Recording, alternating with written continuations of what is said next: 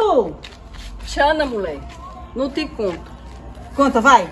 Fui na casa da dona Cutia ontem. Fosse não. Fui. E aí? Cheguei lá, minha filha.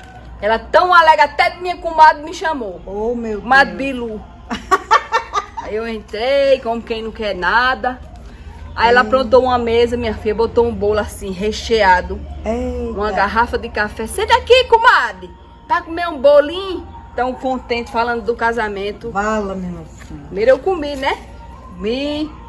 Aí, como quem não quer nada, comecei a falar. Ô, comadre, o casamento.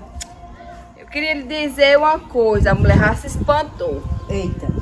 Sou. Ô, ô, dona Cutia.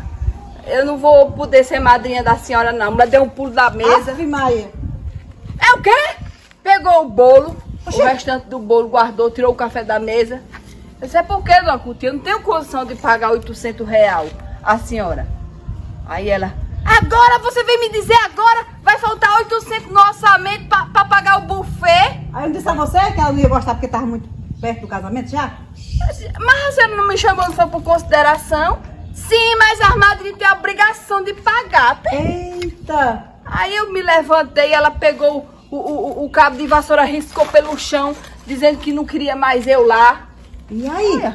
Aí eu disse, você é muito esperta, quer casar e quer que os outros paguem seu casamento. Mesmo, ninguém tem obrigação também não. A gente quando casou não teve isso. Diga aí. Eu mesmo não tive essas coisas. Sei que ela se deu um pinote lá e eu dei outro pra mostrar pra ela que eu tava com medo, mas ela ficou toda assim, ó, que nem um frangão assim, ó. E o bolo? E o bolo eu já tinha comido, chegou, eu tava pesada.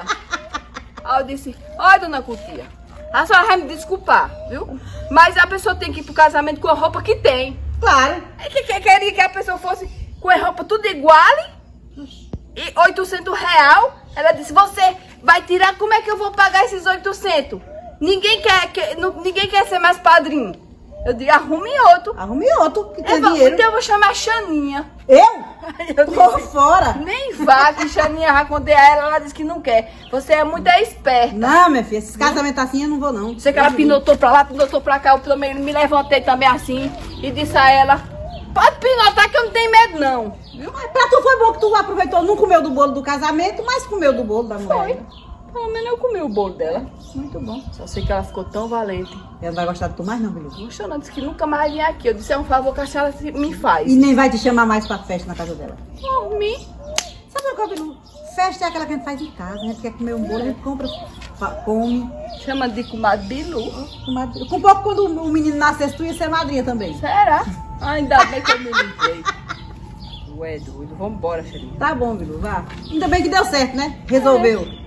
Daqui um dia ela vem aí e pede desculpa. Com certeza. Tchau, Xana. Tchau, Bilu. Eita, Bilu. Ainda bem que deu certo pra você, minha filha. Porque se você fosse gastar esse dinheiro nesse casamento sem ter, tava ferrada você, viu? Certos casamentos aí ninguém nem me convida, porque eu não vou desse jeito.